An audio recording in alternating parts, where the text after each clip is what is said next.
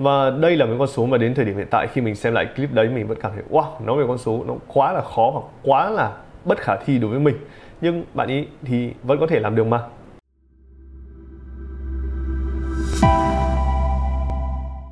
Chào mừng các bạn đã quay trở lại với em Invest, mình là Minh. Và ở trong video ngày hôm nay chúng ta đang ở trong thời điểm đầu của năm 2024 Và cái câu hỏi đầu tiên khi mà năm mới đặt ra đối với mình đấy chính là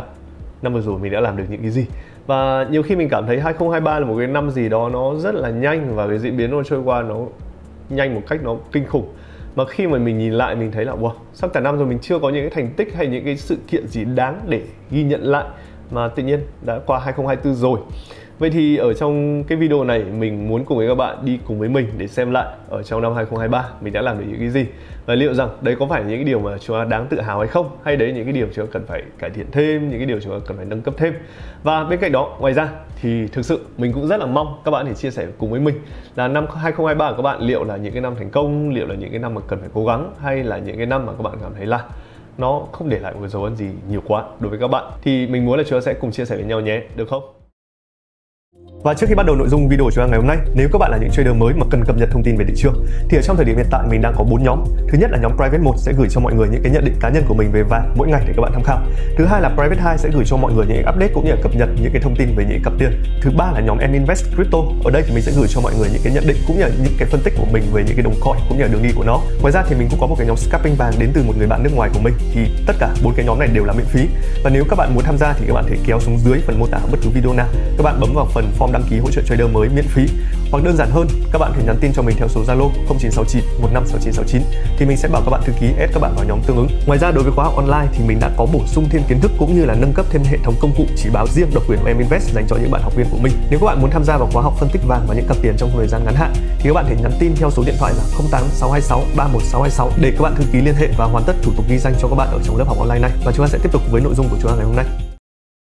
Đầu tiên đối với mình nhé, ở trong 2023 cái điều mà làm mình cảm thấy vui nhất là mình cảm thấy hứng thú nhất Tất nhiên là những cái liên quan đến cái lĩnh vực của mình rồi. Những cái lĩnh vực về phân tích tài chính, những cái lĩnh vực về phân tích kỹ thuật. Đây chính là mình có cơ hội Tức là mình được xem và mình được theo dõi những cái tài khoản của những cái bạn trader, những cái bạn giỏi. Và như các bạn nhìn thấy trên màn hình thì nổi bật nhất có lẽ là cái clip mình đã làm về các bạn trader trên TikTok khi mà bạn ý đã trade được một cái tài khoản từ 10 triệu lên tới con số là 1 tỷ 8 ở trên màn hình thì bạn để thấy rằng con số lợi nhuận đã là 75.000, tức là cái mức lợi nhuận là 150 lần. Và nếu để kỹ hơn khoảng thời gian thì lệnh cuối cùng bạn rơi vào khoảng 14 giờ 30 theo giờ của máy chủ. Và nếu so với cái thời gian nạp số tiền đầu tiên thì tài khoản này bạn đã đánh x lên 150 lần trong khoảng thời gian là 10 tiếng đồng hồ và đây là một con số mà đến thời điểm hiện tại khi mình xem lại clip đấy mình vẫn cảm thấy, wow, nó về con số nó quá là khó hoặc quá là bất khả thi đối với mình. Nhưng bạn ý thì vẫn có thể làm được mà. Và mặc dù cái video này lên thì như bạn nhìn thấy ở trên màn hình khá là nhiều comment cũng như là khá nhiều ý kiến trái chiều. Nhưng mà đối với mình thì mình nghĩ là cho cũng không thể nào cho phủ nhận được là ngoài kia còn rất là nhiều người người ta có khả năng thật và người ta là, có cái năng lực và người ta giỏi thật. Thực sự như thế và ít nhiều chúng ta chưa tin là vì chúng ta chưa biết những cái người như thế và chúng ta chưa gặp được như thế. Còn đối với mình thì mình vẫn luôn tin trọng tất cả mọi người dù Chúa lãi hay Chúa lỗ. Và qua mỗi câu chuyện mỗi người thì mình vẫn muốn là à, Chúa có thể học thêm được gì từ họ. Từ những chiến thắng từ những sai lầm từ những thành công từ những cái lần thất bại của mọi người. Mỗi người là một câu chuyện khác nhau. Và mỗi người là một cái trải nghiệm khác nhau mà chúng ta luôn thấy được là bản thân chúng ta sẽ cần và chúng ta sẽ có thể học được gì từ họ và trong cái suy nghĩ của mình ý, là đối với những người người ta được thành công và người ta có được những kết quả như thế,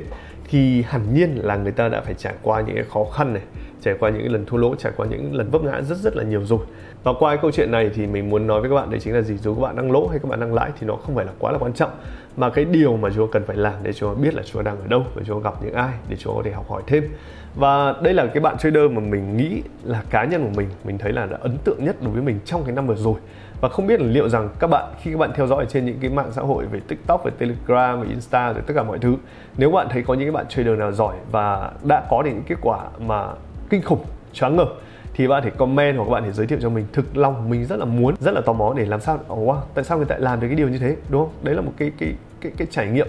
và cũng cái điều mà mình cảm thấy thú vị nhất của mình ở trong năm vừa rồi với trải nghiệm là mình chưa có thể nào mình làm được. Và cái điều thứ hai mình làm được trong năm vừa rồi đấy là mình đã gặp được rất nhiều những bạn trader ở ngoài đời ở Việt Nam.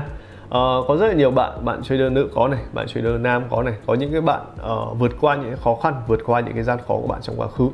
từ cái việc là thua lỗ rất rất là nhiều cho đến cái con đường bạn vực dậy và các bạn uh, gây dựng lại sự nghiệp của các bạn như thế nào. Hay có đơn giản những cái bạn là trader các bạn phân tích quá nhiều đến mức là bây giờ cái việc phân tích nó dựa vào trực giác nó dựa vào cảm giác của bạn đi nhưng bạn ấy vẫn thành công đúng không đấy là những câu chuyện thực tế người thật việc thật mà mình đã gặp ở ngoài đời trong năm vừa rồi. Nhưng để mà nói thì thực lòng trong số những cái bạn mà mình đã gặp được ở Việt Nam trong năm vừa rồi thì cái con người mà mình gặp và mình cảm thấy ấn tượng nhất đấy là cái bạn trader người Pháp có tên là Roman và nếu như các bạn đã xem và các bạn đã biết thì Roman là một cái bạn trader đến từ Pháp và bạn đi giao dịch theo cái trường phái uh, thuần theo SMC và đâu đấy thì bạn học về hành động giá đọc về nến. Và bạn hiểu khá là rõ về thị trường hiểu khá là rõ về việc là trong những cái phiên giao dịch thì những cái phiên nào sẽ có đặc tính như thế nào phiên Âu sẽ như thế nào phiên Á sẽ như thế nào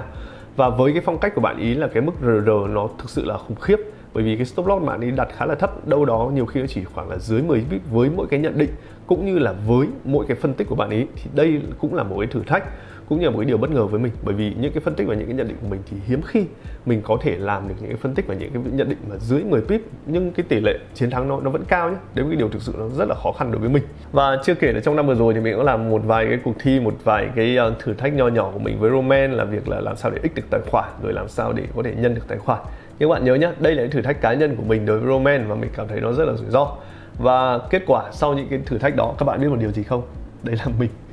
Mình toàn thua ở trong những thử thách đấy. Và Roman thực sự đã làm được tốt những việc đó, việc ích tài khoản ví dụ từ 10 đô lên con số lớn hơn. Mình không thể nào mình làm được những điều mà kiểu ích ích tài khoản trong thời gian ngắn. Mình vẫn theo cái chiều trường phái là đi chậm nhưng mà đi đều và đi bền vững. Mình thích những kiểu như thế. Còn những cái bạn khác, có rất nhiều bạn là đi nhanh và vẫn để đi bền vững. Thì đấy một cái điều rất rất là khó thì Roman thì bạn cũng có một cái nick tên lên nếu các bạn muốn học thêm về cái phương pháp của bạn ý hoặc là các bạn muốn giao lưu bạn ý thì cái phần link mình sẽ để ở dưới cái phần mô tả. Và có rất là nhiều clip về Roman cũng như phỏng vấn và thậm chí Roman mình đã mời Roman để dạy một cái chuỗi series về SMC nếu các bạn muốn xem các bạn muốn học lại thì các bạn thể uh, xem có cái chuỗi series đó hoặc scan cái mã QR code ở trên màn hình. Thì sẽ link đến cái playlist đó một cách là nhanh hơn và nó đơn giản hơn và tiếp theo đấy nữa là trong năm 2023 nó để lại cho mình một cái điều vui và một cái điều nó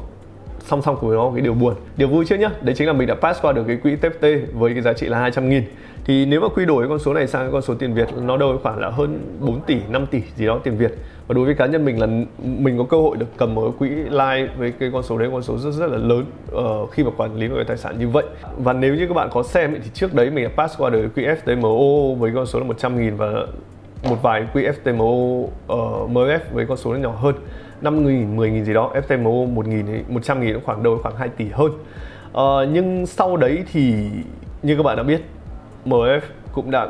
cấm trader Việt Nam và sau đó tiếp theo nữa là TFT cũng cấm trader Việt Nam. Thì ở trong cái thời điểm đó suy nghĩ của mình nó đang xen cái uh, bất ngờ này rồi uh, thất vọng này rồi bức xúc này bởi vì như bạn đã thấy là đa phần họ cấm những trader Việt Nam vì họ có lý do của nó do Việt Nam hack này, cheat này rồi KYC rồi nói nói chung rất rất nhiều lý do để mà họ cấm Việt Nam. Và tự nhiên mình cảm thấy là à mình không làm một cái gì sai cả nhưng mà mình cũng à, tự nhiên lại đi vào lại bị vướng vào cái vòng xoáy đấy. Và cái cơ hội để mình cầm cái con số là 200 nghìn đô con số rất là lớn đối với cá nhân mình thì sau đấy nó đã bị tan thành mây khói. Và đây là cái điều là mình nghĩ là mình cảm thấy tiếc nuối nhất ở trong cái năm 2023 của mình vừa rồi và mình vẫn suy nghĩ mình vẫn hy vọng là nếu ờ, ở TFT mà họ thay đổi quyết định cũng như là mở lại quyết định của họ để cho Việt Nam tham gia thì mình sẽ thi lại TFT thêm một lần nữa.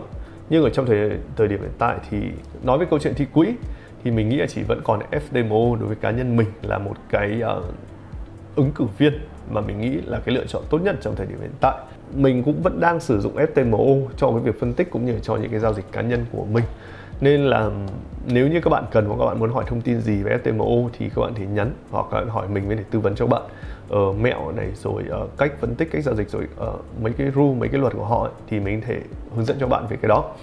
Link của FTMO thì mình sẽ để ở dưới phần mô tả của bạn. Scan cái mã QR code ở trên màn hình để link đến FTMO cách nó đơn giản và chính xác hơn. Và cuối cùng nhá thì ba cái điều trên là những cái điều của cá nhân mình rồi. Còn cái điều cuối cùng mà mình cũng cảm thấy vui vì ở trong năm 2023 thì mình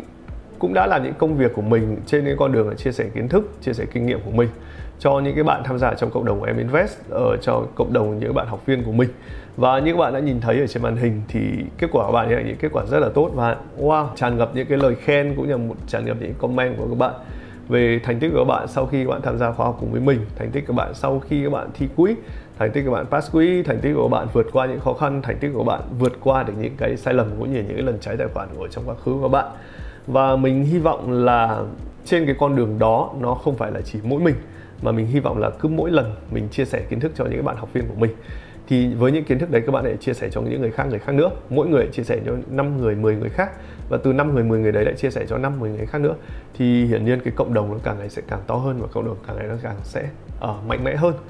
Trong thời điểm hiện tại thì mình vẫn gửi cho mọi người thông tin về vàng về dầu về những cặp tiền về coin và sắp tới thì 24 ấy, trong năm sau thì mình nghĩ là mình sẽ có thể gửi cho mọi người thêm những thông tin về chứng khoán nhất là chứng khoán Việt Nam. Thì nó sẽ là một cơ hội thứ nhất là để mình thử thách bản thân và thứ hai nữa là mình thấy là về bản chất phân tích kỹ thuật nó cũng vậy đúng không ạ? Nó cũng là nến nó cũng là biểu đồ. Thì với những kiến thức của mình ở bên vàng bên crypto thì mình muốn thử thách bản thân của mình ở trong 2024 với em invest chứng khoán Việt Nam để xem cơ hội cũng như là cái thử thách của mình sẽ đạt được trong năm tới nó sẽ là như thế nào. Và đó đấy là những cái điều mà mình muốn tổng kết lại cũng như là mình muốn chia sẻ lại ở trong năm 2023 đối với mình. Thì nhìn đi nhìn lại thì nó quá là nhanh vì nó ở trôi qua trôi tới trôi lui rồi đi xem đi xem lại. Thì đối với cá nhân của mình thì nó có nhiều ấn tượng với trong những cái việc như thế. Còn về uh, cuộc sống cá nhân thì mình thấy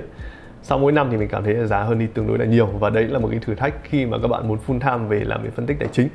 Nên là một lần nữa nếu như các bạn đang có một cái năm 2023 của các bạn là những cái năm tốt và những cái năm mà kết quả của bạn lạc quan thì rất là hy vọng. Sang 2024 thì kết quả đó nó được duy trì và nó thậm chí nó vẫn uh, đi tăng lên nó vẫn trong một cái mô hình uptrend cho cái uh, sự nghiệp và cái con đường uh, công việc của các bạn. Còn nếu 2023 của các bạn cảm thấy các bạn đang chưa có một cái động lực gì bạn chưa có một cái niềm vui gì. Thì hy vọng là sang 2024 các bạn có thể tìm được niềm vui với công việc, với bạn bè, với cuộc sống của bạn. Và hy vọng em invest sẽ vẫn luôn một cái nơi gì đó mà chúng ta có thể chia sẻ được với nhau ở trong kiến thức, ở trong tâm sự và trong tất cả mọi chuyện. Và một lần nữa, cảm ơn mọi người luôn dành thời gian theo dõi video của em invest và hẹn gặp lại các bạn ở trong năm 2024 nó rực rỡ hơn và vui vẻ hơn. Xin chào.